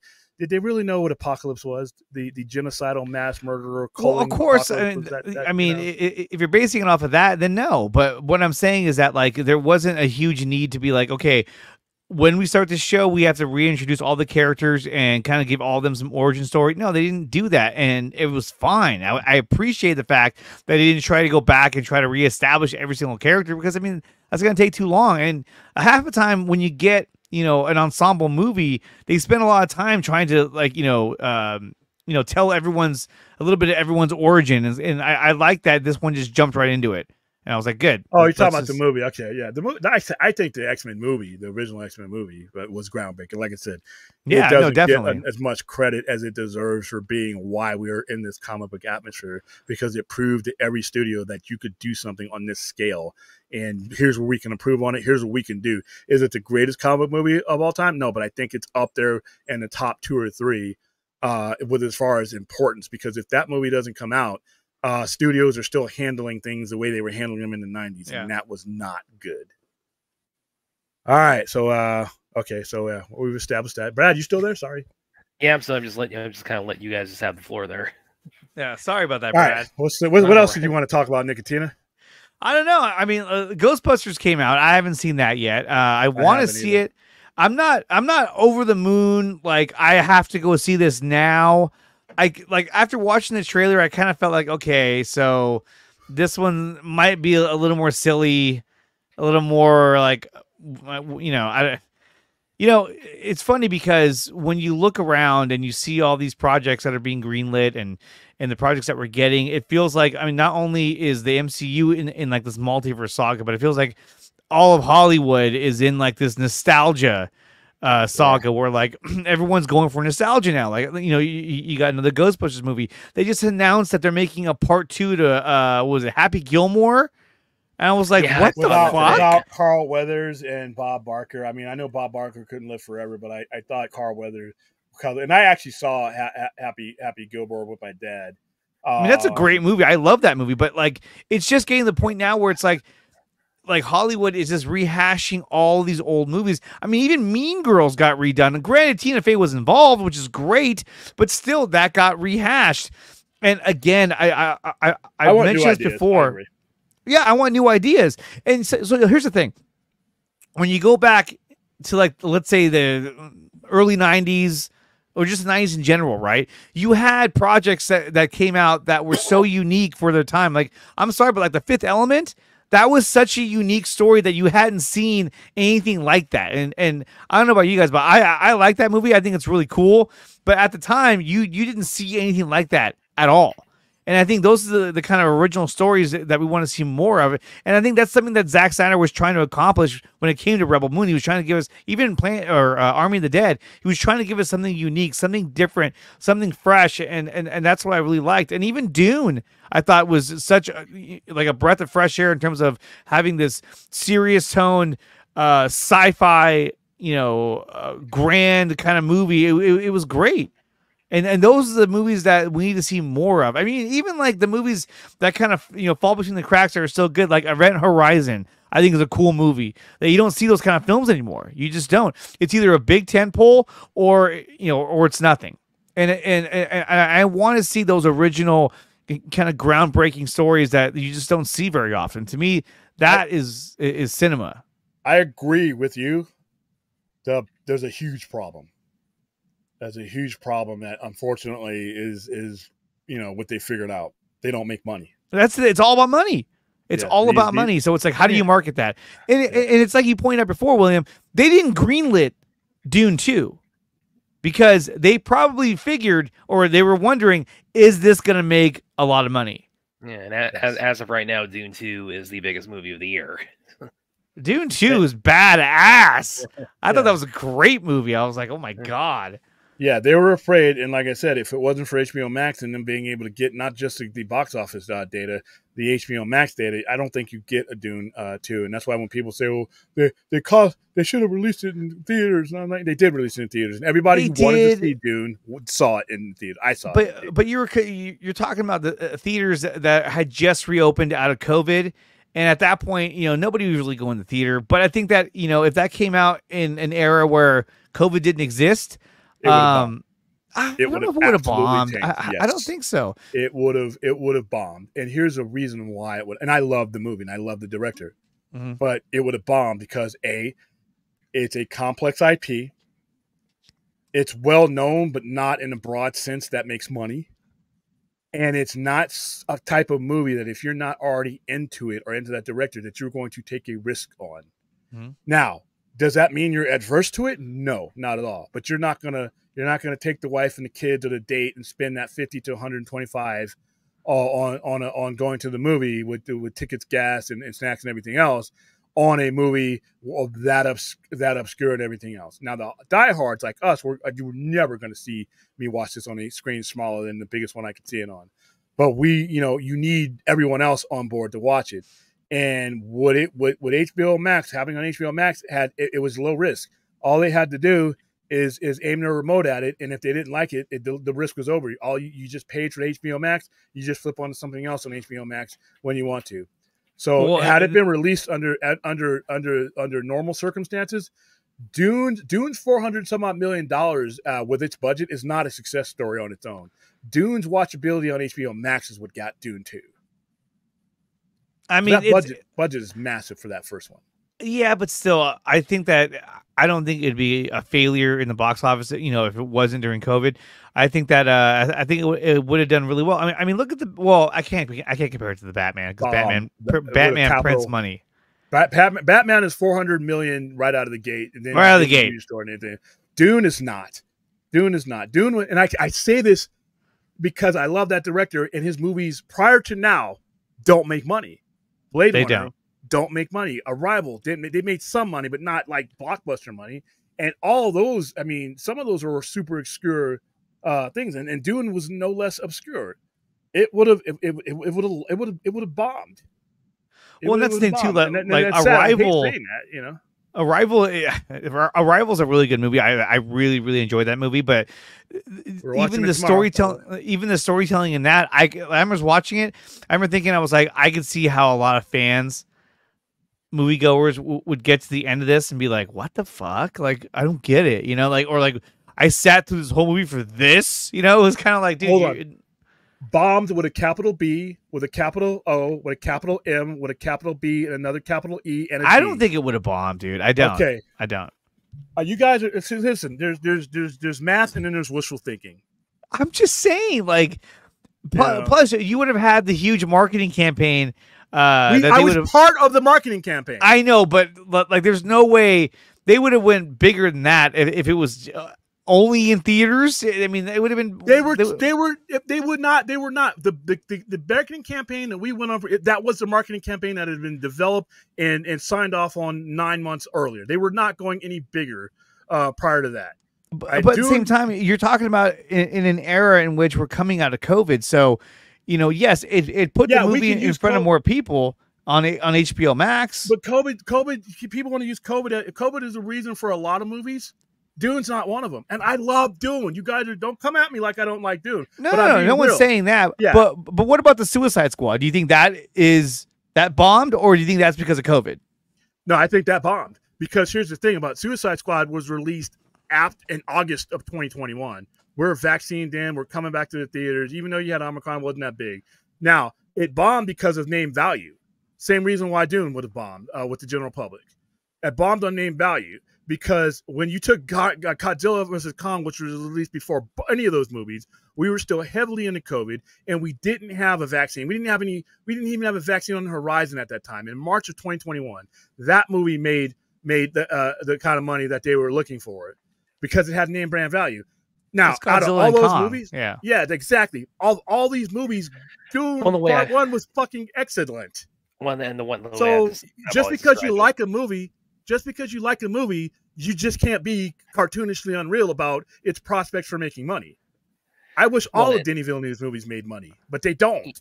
and that, that that's you know the, the reason I've uh, you know the, the joke I always tell when you you know, make the uh, comparison All right, guys. Godzilla versus right, Kong's like their success um, uh, is the you know, you know because that was the first like big box office success of the uh, the pandemic era, and I always say it's like yeah after that year like what could be more cathartic than watching the lizard and the chip beating the shit out of each other. So, Yeah, exactly. It was like, give me Godzilla versus Kong because I just want to see some fucking action. I just want to go and turn my brain off, and that's what that's what that was. yeah, yeah. Um, I mean, we're about to get that in a week again. There was, a, oh, you know what?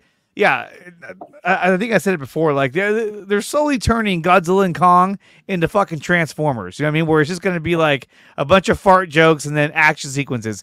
But it's like, come on, man! Like like, see, and this is what I hate because like I like Skull, uh, uh, um, uh, Kong Skull Island. I liked uh, Godzilla by uh, Gareth Edwards. Oh no, was it Gareth Edwards or was it Matt Reeves? Uh, no, that was Gareth, Gareth- Gareth Gareth Edwards. I like that movie, Uh, and uh, you know, but when we start getting, when we start getting stupid, and we're giving uh, Kong like a, a fucking robotic Given the, the arm Gauntlet. sleeve, it was like, what, what are we doing here? Come on! And, I- and I know people were like, well, if you watch the Japanese versions, that was totally crazy. I, I don't care. well, not- we're in America. Um, yeah, all right, exactly. I don't give a shit.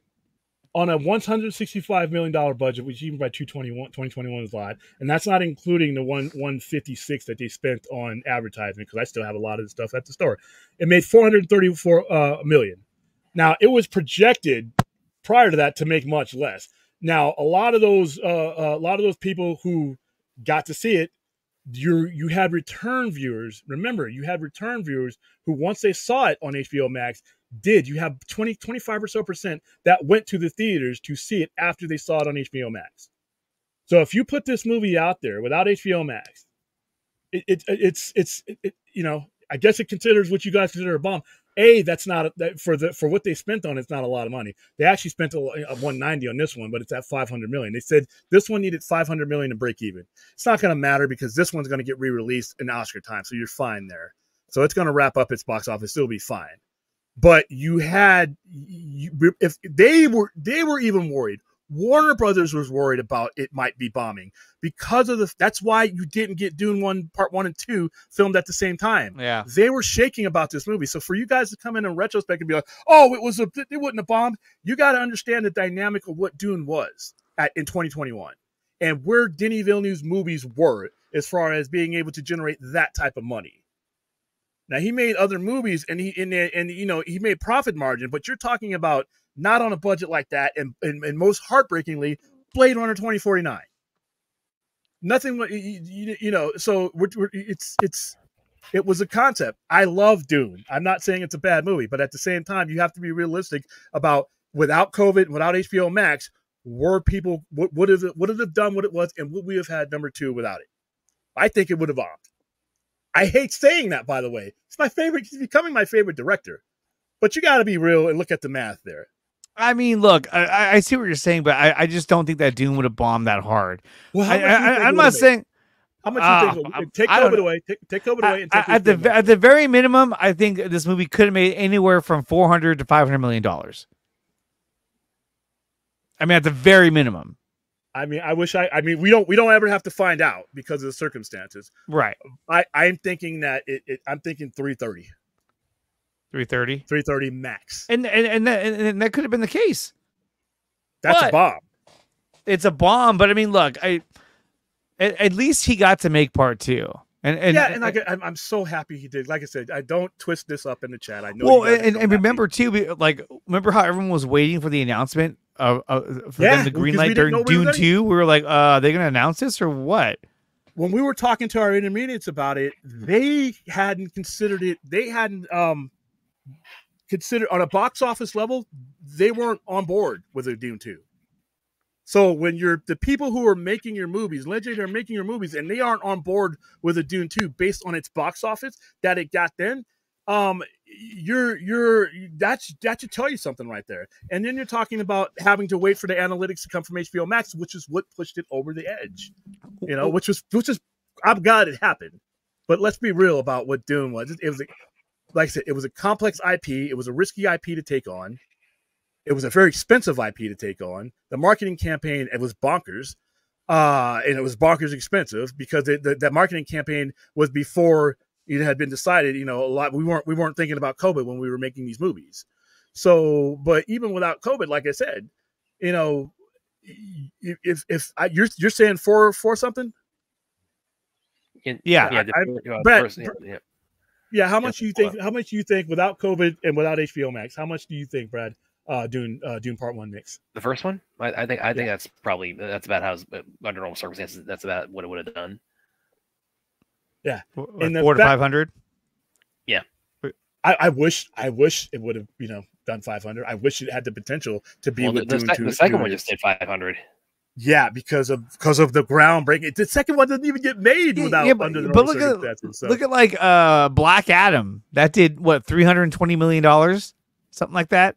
Uh, and then, and then you got the Flash. How, how much did that do? Two hundred and something million dollars. Yeah, we're talking. Like I said, now we're talking later on, but I'm talking out in 2021 when it was released, and there's a lot more attached to that other bullshit. Oh my god. But yeah, we're talking 2021 when Dune is released without Dune 2, without you know, you know uh, it's, it's just, it's uh, just, for me too. I think that Dune one, I already knew what was going to happen.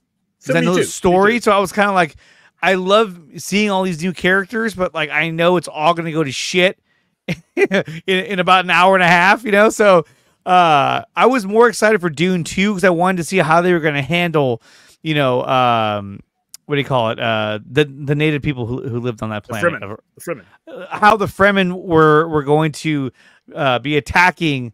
Uh, what do they call it? The Harkonnens. Yeah, it was our Yeah. and, so uh, that, whole aspect was really cool. Although uh, they were trying to attack that one uh, that, that spice mining machine, and they had that one ship that was like hovering above, like shooting at them, and I was like, you know, in my, in my head, I was like, you know, if they would have had two of those, they would have won that little skirmish. they only had the one, and once they shot it down, it was like, well, we won. You know, like fuck, no one's coming. But Yeah, anyway, no, I- I thought it was good though. I, uh, Dune Two was was a lot of fun. I thought Two was one of the best movies in, a- in a long time. It's far surpassed Man of Steel, Profit, Man of Steel. Man, that's not that doesn't matter to the guys like Zaslav's in there. I don't I don't give two shits about your profit margin. You know what I care about? Because profit margin is not shit without what volume. If you're not making the money in the volume, great. It's like me selling this this uh, Dune profit. Uh, this thing I made um I made twenty dollars profit, but I need a thousand of these Well, to plus- to to you know to make it to Plus, where you know Man of Steel. I mean, there, you know, there's of course there the reporting with all the uh, the an- the ancillary like tie-ins. Yeah, they had built they in, Made, uh, they made, built in they money, made their yeah. budget back before the movie even came out. Let's see. Uh, but yeah, I listen, guys. I I in a, in a hypothetical past, I I, I love Denis Villeneuve. I think his movies. I need more people need to see his movies. I'm not saying I would be rooting for Dune to to bomb. I just think realistically, based on his previous box office, based on the the abstractness of the uh of the IP, not everybody's like us reading and following this stuff, and the genre itself. I think it would have been it would have struggled to to, to break 333.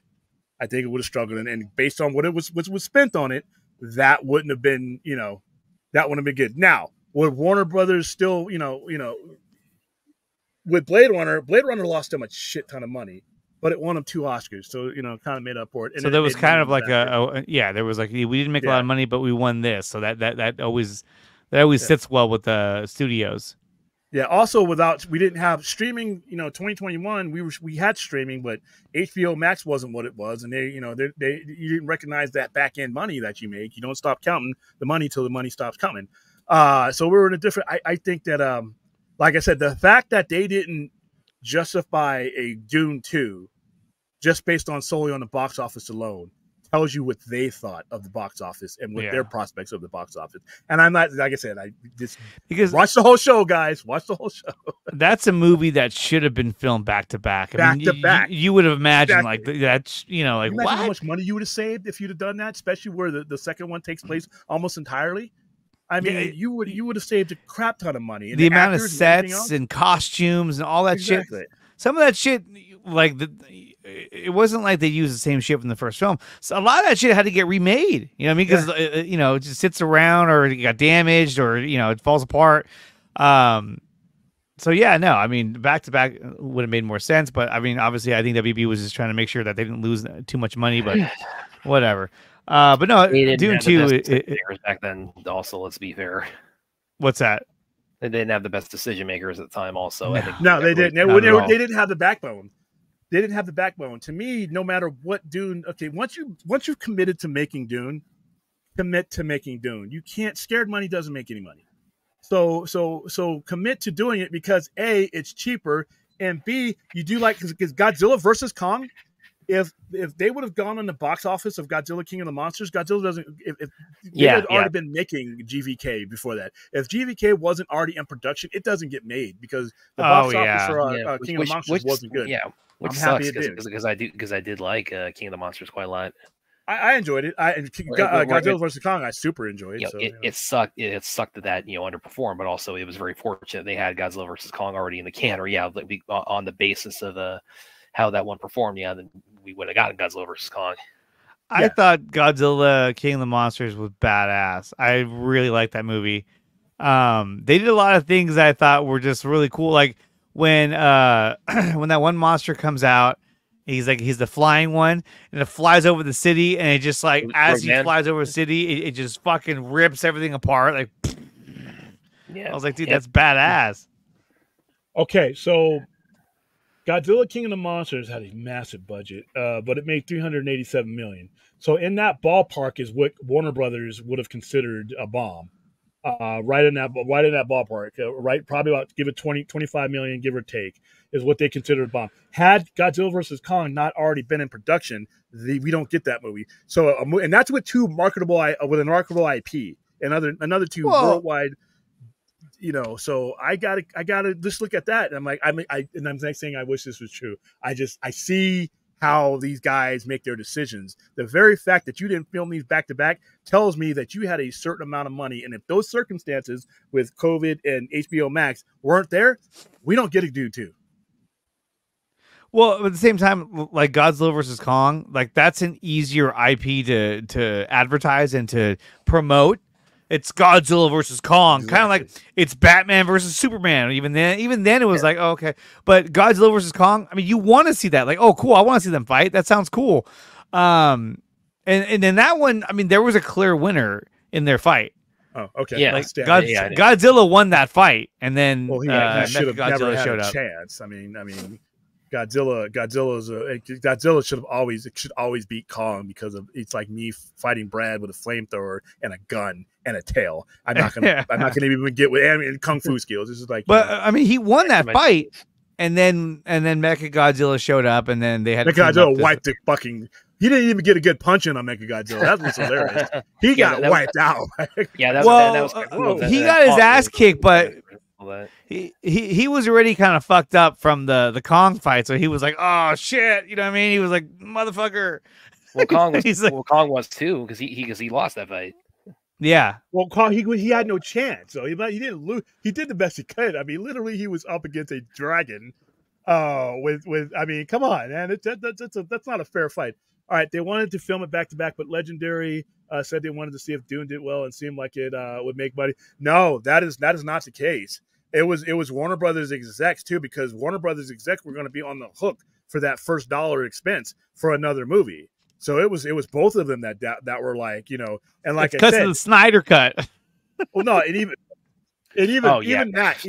okay, remember it was a while after the box office had been tallied for Dune Part One before they made that decision. They didn't make the decision for Dune Part Two based on the box office. They made the decision on uh, uh, Dune Part Two as far as the watchability goes on HBO Max because they figured there was watchability from, like I said, that twenty five percent who saw it on HBO Max first and then came to the movies. And beyond that, they're like, okay, if we do this next one and we only release it in the theaters, we can capture this watchability on our data and and they do they were sort of right. They were they, it turns out they're right. But but if you can consider the, even the money that it made, I don't consider 450 whatever million that it made a bomb. But in the eyes of the studio who makes the decisions and the financiers who make the decisions, that alone, Dune's box office alone wasn't going to be it. And I and like I said, everybody for the most part, 75% of the people who were going to see Dune and only see Dune on the big screen first, they all saw it. I, I saw it. You saw everybody who wanted to see that on the biggest screen, just you know, uh, uh, just like Kong versus Godzilla, we all saw it in the movie theaters. The people who weren't going to see it, that weren't going to give it a chance in the theater, for the most part, weren't going to. Everybody who, who saw that movie, less that 25%, saw the movie on the format that they were always going to see it in. So that means without HBO Max, not only do you only make that money, you lose the watchability and you lose the chance to make the case for Dune 2 because that mm-hmm. would have been considered a failure without those circumstances. That's why I say streaming is is is it's part of your math when you're determining whether you're going to make these movies or not. But I mean, like I liked uh, initially uh, the whole day and date idea where it would come out in theaters and it would come out on HBO Max. I was like, hey, I kind of like that because I don't really want to have, I don't want to go to the theater right now, and I rather just watch it at home on, on my big screen with surround sound. Yeah. But I mean, it it does take away from the the feel. I, I mean, I remember as a kid you know, there were countless weekends where like you know, we would go we would go to the movies and that was like that was a huge deal. It was like, wow, you know, like like going to the theater was was a huge experience. Same here, man. Yeah, Same and, here. and so and, and I think a lot of movie or a lot of movie fans these days, you know, they don't have that built-in feel for for the movie theater. You know, my kids when I take them to go see a movie, they're a fucking blown away. They're like, "Oh my god, this is incredible, you know, and, and that's the feeling that I remember having as a kid. I remember I remember the first time I, I saw Batman 89 in the theater, I was completely blown away. And granted, I was younger then. I was like eight years old, and I was like, uh, I was like, this Fourth. is amazing. Fourth, you're using dinosaur logic that doesn't apply when you're counting money. It just is not. This does not. This, you know, the people who saw Dune. Dune was a quality movie, so you're not making sense right now. Dune was a favorably quality, highly reviewed movie. And still 75 to 80% of the people who who, you know, who saw it on streaming did not go to the theaters to see it.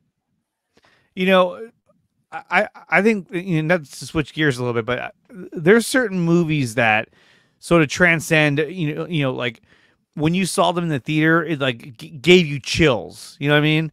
Um, and, and, there's a lot of them, and there's some that really didn't, and there's some that did. You know, and I, I remember as a kid, like I was saying, Batman '89 was a big fucking deal for me. Well, Thirteen year old me yeah. was like, dude, every Batman was everywhere. Uh, we had we had yeah. shed Batman sixty six from our from our from our psyches and, and, embraced the dark Batman because because the Dark Knight Returns allowed for that to happen. Thank you, Frank Miller, uh, for Batman yeah, to come and, home and, and beat the shit out of people. You know, and for me, it's like I mean, there's one in particular I'm still waiting on the opportunity to see theatrically. And then you know, you know, uh, the uh, but you know that some people on here have that I have that uh, I have not. What's that? Well, take a guess. What? with the raid two? What do you? What do you? The raid two? Meet the Spartans. I, I, I just, you lost me. Huh? Oh, the Snyder cut. Yeah. Oh, on a big screen. On a big screen. Yeah, yeah. yeah. I mean, you know. I got I'm to see it on the biggest screen possible. It was yeah. fucking amazing. there yeah, was there, there was shit underwater in, in, when they show the the stronghold at the outside of it.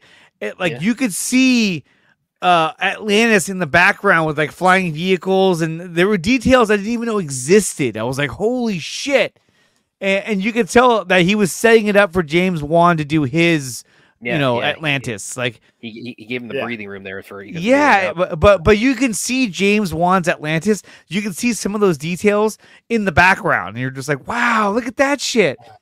Uh, I've never seen a movie so clear on such a big screen in my entire life. It was uh, it was unbelievable. Yeah. And I had to fly down there and then fly back the next day. It was nuts.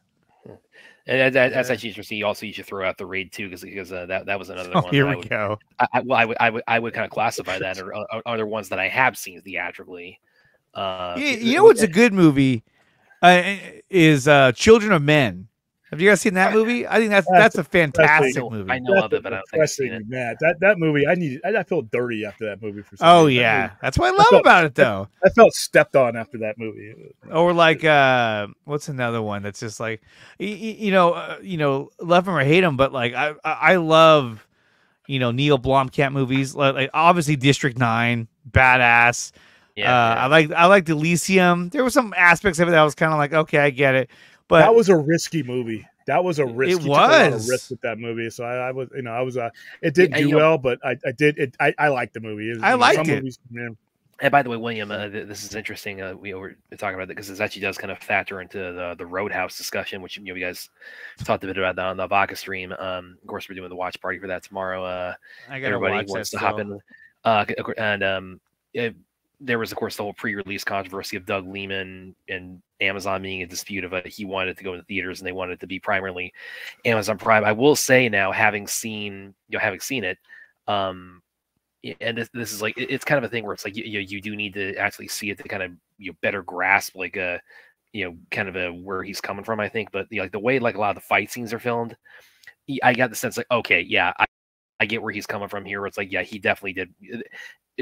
There there are aspects of the camera work and a lot of the uh, kind of the ways they kind of juice up a lot of the uh, a lot of the action in it where it's like yeah i i, I understand now kind of uh, it, again it's like I, I get amazon's perspective too about like this this serving their broader business model but from his perspective as a filmmaker it's like yeah i understand you know his perspective on that where it's like he clearly intended a lot this to be seen with a crowd.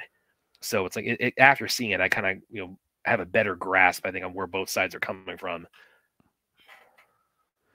and yes, Aztec uh, Alfonso Cuarón directed that uh, Children of Men. Yeah. I'm not saying that uh, Denis Villeneuve did that. I'm saying I was saying in general. I I, I like. No, you're talking about the type of film. I got it. Yeah. Um, I think that uh, the director, I you're robbed to have you have a right, and every every most most directors will want their stuff on on, on a big screen. How he handled it was outright fucking ignorant and stupid. Um, he made himself look like a jackass. Um, and well he, well, well, he ended up having to walk it back anyway because he did the you know. The, yeah, he made himself look a lot. And like I said, a lot of people. I, I think he may. Hopefully, it doesn't. But I think you you hurt your career when you when you handle things right. Not not your opinion. Your opinion is your opinion. What you think is right or wrong, these things that that's your opinion. You're allowed to have that. But you got to realize you're you're a, you work for hire. You're, you're you're every studio is looking at how you handle things, whether it be actor, actress, director, how you handle things it's like, do I want to deal with that guy again? You know, if we have to make a decision, we, we make a movie, we have to make a decision financially. If somebody else buys it and wants it for their purposes, do I got to deal with this headache now? You know, and he's a good director. He should, he should, he should have. You talking know, about Doug Liman? Yeah. yeah. You know, you, I mean, Doug Liman is is the kind of director where it's like, you know, his previous films speak so highly of him. Like, you know, he did Swingers, uh, he did all the Bourne movies. Mr. and Mrs. Smith, which I thought was just all right, but it was fun. But a fucking Edge of Tomorrow? Are you yeah, fucking I mean, kidding me? That movie is amazing. Yeah, do you and need to come out and that, say that didn't you know, well the, the No, it didn't. That but, but that movie but, not, like but it's performed well. It's it's made it's made its money. It's made its money well, now. But do, after I, theaters, it took yeah. off. Eh, when everyone started seeing it on on the, on the movie channels and all that, dude, yeah. that's that is one of the movies it's so well done, and the uh, the chemistry between Tom Cruise and Emily Blunt was so good. And uh, that to me, I mean, look, I'm a huge Tom Cruise fan, but to me, that was one of his best films.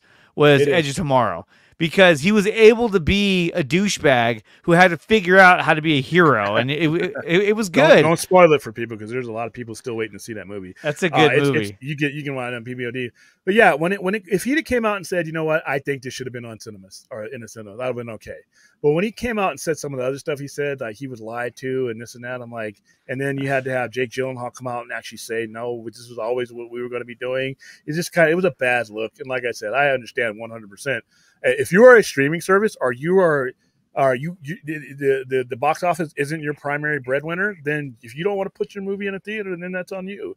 Uh, I mean, netflix at, i think i, I think netflix exactly. is pe- people exactly. saying well netflix should should have put this on. No they shouldn't have. Unless it's going to be oscar worthy and they have to meet that qualification they are selling a streaming service. They are not selling you the box office experience. Yeah they're, that's not they're what they're going after. services. So it doesn't make no sense. I, I wanted rebel moon. Remember brad we were talking about this for, for a while. Hey you know what everybody's like, wait, wait, we should hashtag get at least Rebel Moon in the theaters. I'm like, hashtag all you want to.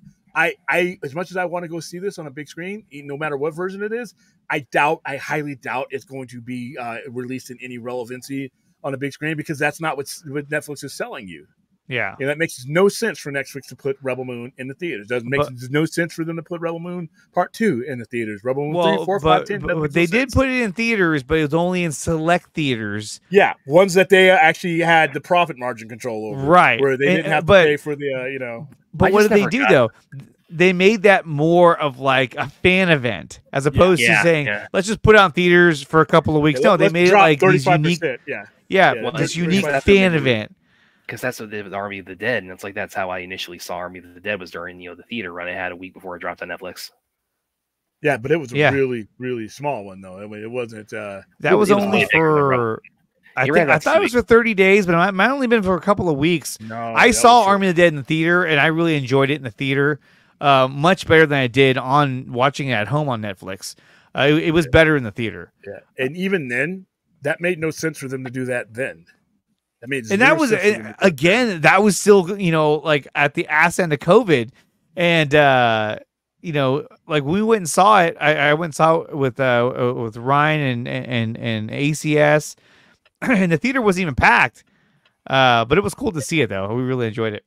And, but here's the thing, and I remember they did an ad campaign for that. So Netflix had to pay because I still got the patches and I still got the posters at the store, the Las Vegas patches. They did a, yeah. a quite for what it was, a quite expensive ad campaign for that. I think they learned their lesson for that because once again, you're paying for the ad because the theaters are no, you're not going to take it for a medium release if you don't commit to promoting the fact that it's in the theater, and that money comes from the studio. Not only that, the dollar that comes back is 35 percent less. So you're it's way not only diminishing returns, you're kind of losing money uh, when you when you when that's not what you're selling. Not only are you losing money or marginally breaking even, which that kind of sucks too, but that's not even what you sell. I don't want you going anywhere else to see my shit when I have the streaming service for the shit. That's that's that's that's literally that, that's what they sell. Well, and, and, and what they go, sell. Kind of going back to when I was uh, you know making the comparison to uh, the Raid Two. Uh, and actually had some flashbacks to this uh, when Everything Everywhere All at Once uh, was initially being released because this had actually kind of a similar rollout. Because uh, for anybody who hasn't seen, didn't see, because I can recount this because I was you know, very psyched them, uh, who hasn't seen the Raid movies theatrically. Uh, what they did, they started kind of regionally with it. So they it, it, was it was done over both of them. They were done over like a three week period where like first they put them out like New York, LA, then they put them out uh, the second weekend. It would be like other cities like Chicago and uh, DC, Miami, kind of that. And then it was the uh, the third week. That's when it finally went wide, you know, for both the raid movies. And so that kind of made uh, both those experiences, you know, that much more, you know, ones that uh, I kind of cherish that much more because because it was and it was a very you know it was still fairly limited in terms of just like how long it was out theatrically. But you know, but I those are uh, that kind of adds to my uh, my right. My fandom and my constantly bringing them up on as far better watch parties than Meet the Spartans will ever be, despite how much you guys want to torture me. Real quick, Austin, it did. It, looking at the numbers, it made no sense, and that's why they didn't do it again. Um, you made a million dollars in the box office. I think, and you you took so a million dollars at the box office minus the stu- the the the um, the, the cinema is thirty five percent. All right, and then minus what you spent on all those posters and stuff that we got and patches and stuff we got. It didn't. It didn't make it, and, that, and that's probably why they didn't do it again. You, you gotta have to well, learn. You know, but not only that, though. I mean, you're you're coming out of COVID, and you have a movie that's by you know a acclaimed director who makes movies for theaters and Zack Snyder so I think it was also a move to kind of put Netflix back on the map in terms of like, hey, look, you know, we're gonna have a limited release for this movie because we want to make sure that you know we we give it as much as possible, as much bump as possible because we, we want to stay in the Zack Snyder business and we want to make sure that you know because I'm sure he wanted this film to be in the theaters as well. I'm sure after that, then when it came to Rebel Moon, he was like, "Yeah, look, this is a streaming movie. I get it. Let's just keep doing that." Yeah, I, I, um, I, I, I, think he's kind of adapted to the uh, the exactly, exactly, and, and, and, also and I know everyone's talking about the Dream Lens. The Dream Lens worked way better in theaters than it did like on any TV. It it, it was not as like you know like when you watch on TV, the Dream Lens sometimes is, is kind of like whoa, it's kind of it kind of fucks your vision. But in, in, the theater, it didn't have that effect. It was it was really cool because it was so big, you know. Yeah, I just think it comes down to you are what you are. So whatever it is that you're selling, uh, I, am not need, sending need, you. I'm not. I'm not sending you anywhere to go see uh, that. I, I'm, I'm, i need to highlight this comment though because there's no possible way you can not be trolling here, Bradley, when you tell me that Madame Web is better than Rebel Moon. No, fuck no. I think Madame Web had some I, cool I, aspects, and it could have been really the, cool. I utterly, I, one of these days I'll see the movie that they were actually meant to release. I want to see the movie utterly, that was actually written. Done. Utterly, utterly refuse to take that statement seriously, Bradley. I'm yeah, sorry. no way, no way, no way. I mean, Madame Web was supposed to be, you know, Terminator meets Spider Man, which I think would have been really cool, but instead it was a shitty movie with shitty dialogue and shitty acting. And that made a profit. That made a profit. And it made a profit, but if I didn't take much, PVOD, yeah, because but so. but I mean, like the the the, the, just, the jungle Spider Man was like, what? Was what is happening? Why is this even in the final cut? I was like, Jesus Christ! And you have Peter yeah, Parker it, in the movie, but anyway. And, and listen, oh. we, we, William and I, we were like trying to be voices of moderation leading up to where it's like, let, listen, everybody chance. You know, it's like just let just let's see what's on the store, and then we see it's like, no, this thing really is shit. Yeah, because they changed their shit. minds on the movie that they were making. If they would have made the movie that they meant to make, and actually that you kind of see that they ADR'd over all the whole movie, you'd have had a better chance. But hey, Brad, it looked better. ADR. Yeah, it looked better in theaters and not shitty on Netflix. But hey, it, it when it, you're Netflix, do you care about how shitty it looks? uh, on on exactly. uh, you, you're you're you're you're selling. You're making movies for Netflix. You're making movies to bring people to your streaming service. They don't care about the comparison to the theater any more than Amazon uh, does or should. I understand where you guys are coming from because you're cinephiles. You want to see it on theater, but as a business model, there's no way if I if I'm doing the money counting for for Netflix and you tell me we got this cool thing we got everybody talking about where you're, you're going to take it somewhere else. You're gonna you're gonna take it somewhere else and you're gonna give away some of our money to do it. And but, on top of that you're gonna give away some more money to promote it. How about you have a seat in here? Have some wine you know um, well and that's my point with when it came to uh army of the dead. It was like hey let's give it a limited theatrical run because we we need to show a select all you know whoever goes to see it in theaters that like you know this is some of the shit we have to offer but it came to rebel moon they didn't have to do that anymore because they were like yeah we've already established this yeah. this audience Just the fan base knows what, yeah. yeah. exactly so I, I think that again that's why they did it they knew it was coming out of covid it was kind of like hey let's make sure that you know this is i mean at the time i think that was uh, I, I don't know if to be true. I shouldn't say this, but I think that was like one of the bigger, biggest directors they had at that time. Now, you know, they, have done other stuff with other directors. Like even Spielberg did a freaking UFO uh, series for Netflix and yeah. and all that. So, and they and they're doing it right because where everybody's like, we can't invest all this money into this and that. And Netflix say fuck it, we're gonna we're gonna spend some money. Need to spend money way, on Mindhunter. Bring Mindhunters back, damn it. Bring it. I don't know if you guys have seen this, but uh, this is I've seen it floating around a bit on Twitter and also on YouTube that somebody finally did the uh, Brad getting if, in trouble on Twitter. No, I'm not gonna pull it up. I'm not gonna pull it up. Must but, be a day. Must be a uh, day that ended. Why? no, no, no, no, no, no, no, no. I didn't run to that one dickhead. So, uh, yeah, you guys know who I'm talking about if you've you know seen some of that. But, um, uh, so it, but it's floating around a bit on Twitter and on YouTube. Somebody finally did the uh, you know, if Madame Web came out in 2007 kind of fan edits. Oh, I didn't even watch. Be honest with you, I, I didn't I didn't like the edit that the studio did to their own yeah. movie. So and that's the thing. That it's like it's so bad. It's as if it came out in 2007. You don't even need to edit it. it it's crazy what they ended up doing with that movie. Um, knowing what was supposed to be in that movie, knowing what that movie was supposed to be, that hurt. Like, like why did you do this? Yeah, I, I mean, like the like the whole diner scene.